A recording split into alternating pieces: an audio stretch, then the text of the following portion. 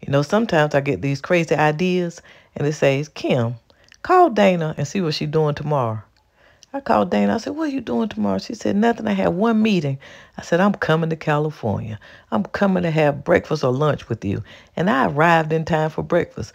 But here I am taking off out of Denver.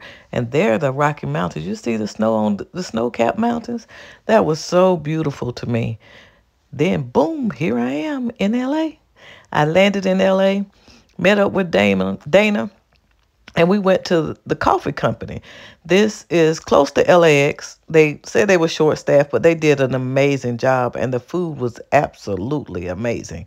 Either it was really good or I was really hungry, and I could have been really hungry because it had been almost 24 hours since I had eaten, and I'm not going to be in California, but but less than 24 hours. This was on my bucket list. I flew to California just to have um, a meal with my good girlfriend Dana get to see her kids, um, spend the night there with them, and just catch up. That's something that I've always wanted to do. Just hop on a flight, fly to the other side of the country, not even stay a whole 24 hours and bring my butt back. But see, here's what I ate. I ate the French toast, bacon, and eggs.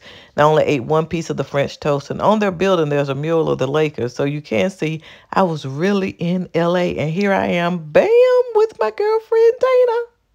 There we are standing outside the coffee company, and here we are right here in front of SoFi Stadium. Welcome to California.